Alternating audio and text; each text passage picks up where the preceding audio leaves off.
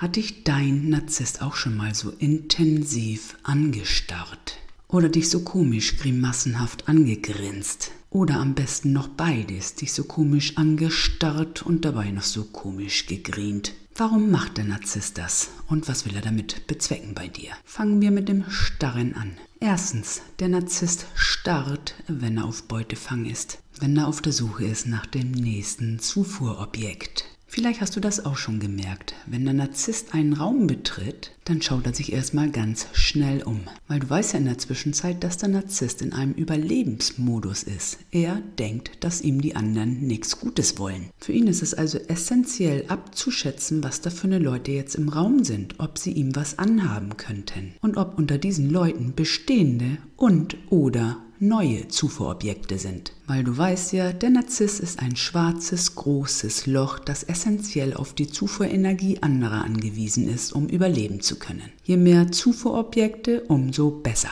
Und zur Erinnerung, die Zufuhr ist einmal die Supply, die Zufuhr an sich, deine energetische Zufuhr, dann Sex, Services und Safety, die Sicherheit. Mit seiner kalten Empathie kann der Narzisst instinktiv abschätzen, welche dieser Personen potenzielle zukünftige Zufuhrquellen für ihn sein könnten. Er scannt jede Person von oben nach unten ab. Und wenn er auch nur ein kleines Fünkchen an Bauchgefühl hat, dass du zum Beispiel für ihn eine potenzielle neue Zufuhrquelle sein könntest, dann beobachtet er dich. Er scannt dich genauer von oben nach unten ab. Deine Körperhaltung, deine Mimik. Er saugt alle deine nonverbalen und verbalen Körpersprache, Signale auf. Und dann, wenn er meint, du bist das ideale, passende, zukünftige, neue Zufuhrobjekt, dann fixiert er dich mit seinem starren Blick. Es ist fast so, als ob er dich damit hypnotisieren möchte, mit diesem starren, fixen Blick. Wenn er dich so anstarrt, fixiert und du das noch nicht bemerkst, dann lächelt er auch nicht dabei. Wenn du das dann allerdings im Laufe der Zeit merkst, dass du von einem Narzissten angestarrt wirst und Blickkontakt zu ihm suchst, dann starrt er dich meistens weiterhin an und dann kommt so ein komisches Grienen mit dazu oder der Narzisst guckt einfach weg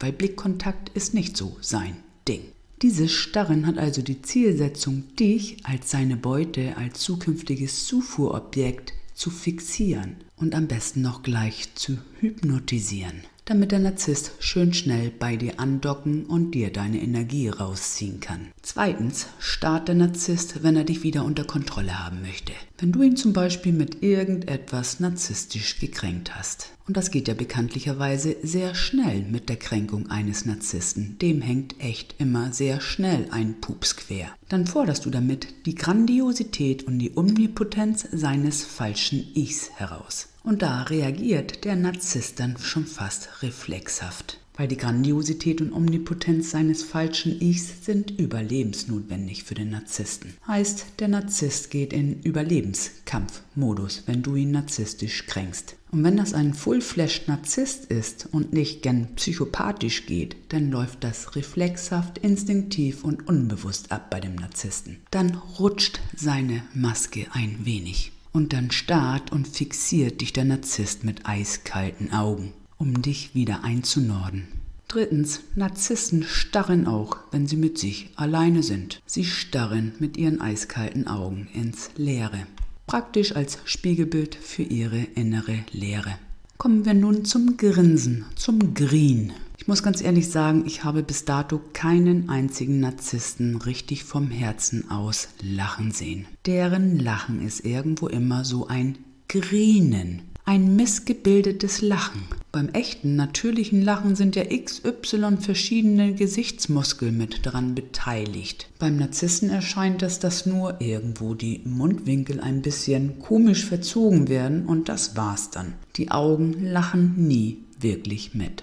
Wie du ja schon weißt, hat der Narzisst seinen Kontakt zu seinen positiven Emotionen verloren. Er kann so wirkliche Freude gar nicht richtig spüren und ist deswegen auch so neidisch auf andere, wenn die sich mal so richtig freuen. Und lieben kann der Narzisst übrigens auch nicht, weil wie soll er das können, wenn er keinen Zugriff, keinen Zugang mehr zu seinen positiven Emotionen hat? Wirklich lachen kannst du nur, wenn du Zugriff zu deinen positiven Emotionen hast. Punkt. Und das hat der Narzisst nicht, also kann er auch nicht wirklich lachen, sondern da kommen dann nur solche Grimassen bei raus. Und dieses grimassenhafte Lachen vom Narzissten wirkt auch sehr oft sehr gequält. Auch weil sich dahinter alle seine negativen Emotionen verbergen, zum Ausdruck kommen indirekt seine Verachtung gegenüber dir und anderen Personen, seine Wut, sein Hass, seinen Dauerneid. All das bringt der Narzisst mit seinen grimassenhaften Lachen zum Ausdruck. Und wenn er dich dann noch so richtig Hannibal-technisch angrinst, angrient, dann ist das ein verachtungsvolles von oben herab runtergegrine auf dich. Da gibt er dir über seine nonverbale Körpersprache direkt zum Ausdruck, was er wirklich von dir hält. Nix. Mit dem narzisstischen Lachen möchte dich der Narzisst in die Irre führen. Und zwar der Gestalt in die Irre führen, dass er dir versucht zu vermitteln, dass er Mensch ist. Dass er so ein normaler, empathischer Mensch wie du seist. Er will dich also simpel hinters Licht führen. Was hat das nun zu bedeuten, wenn dich ein Narzisst oder Psychopath anstarrt und gleichzeitig dich angrient? Tja, das kommt darauf an, welche Zielsetzung er jetzt mit dir hat. Wenn ein Narzisst dich eintüten will, dann will er dich mit seinem Blick hypnotisch fixieren. Dich sozusagen handlungsunfähig machen, dass du nicht mehr wegrennen kannst. Und mit seinem gleichzeitigen Gegrinse will er dir vermitteln, dass er so ein Mensch sei wie du. Wenn der Narzisst oder Psychopath dich als Feind sieht, und du ihm gerade gegenüberstehst, dann macht er sich erstmal groß, wie eine Kobra, die vor ihrer Beute steht. Dann wirst du als sein Feind, als seine Beute, als sein zukünftiges Leckerli mit seinem starren, eiskalten Blick fixiert, auch hypnotisiert. Und mit seinem gleichzeitigen Gegrinse bringt er dir zum Ausdruck, was er wirklich von dir hält. Er verachtet dich, er hält dich für schwach und er wird alles machen, um dich zu vernichten. Meine eigene Erfahrung, je psychopathischer, also maligner der Narzisst ist, umso starrer und eiskalter ist der Blick und umso kontrollierter ist das Gegrinse dabei. Ich kann mich noch an eine Gegebenheit mit dem Vater meiner Tochter erinnern. Der versuchte mich früher mittels Selbstmordandrohungen irgendwo immer wieder unter Kontrolle zu bekommen. Da fuchtelte er dann mit einem Messer an seinen Pulsadern rum.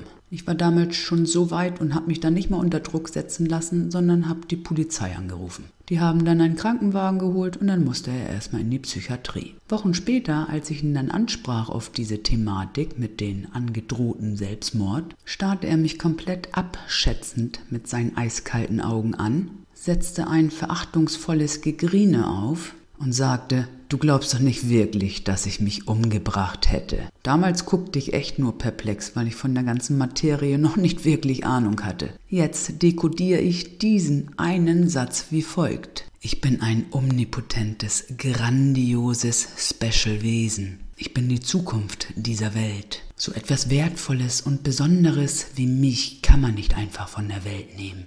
Und auch übrigens, Sabine, das habe ich doch alles nur gesagt, damit ich dich wieder unter Kontrolle habe, damit du dir Sorgen machst um mich, damit du dich wieder vollumfänglich um mich kümmerst, damit du mich nicht verlässt, weil das hast du mir angedroht gehabt. Deswegen musste ich so tun, als ob ich mit dem Messer an meinen Pulsadern rumfuchtel. Was kannst du nun aus diesem Beitrag lernen, mitnehmen? Erstens, Narzissten und Psychopathen starren, um das Gegenüber handlungsunfähig zu machen. Dieses eiskalte Starren ist auch gleichzeitig Ausdruck ihrer inneren Leere. Zweitens, Narzissten und Psychopathen können nicht wirklich vom Herzen aus lachen. Ihr Gegrine spiegelt ihre negativen Emotionen wider. Drittens, wenn dich ein Narzisst oder Psychopath anstarrt und gleichzeitig angrient, bedeutet das nichts Gutes für dich. Solche Leute sind am besten zu deinem eigenen Wohlbefinden rigoros zu meiden. Du bist stark, du schaffst das, glaub an dich.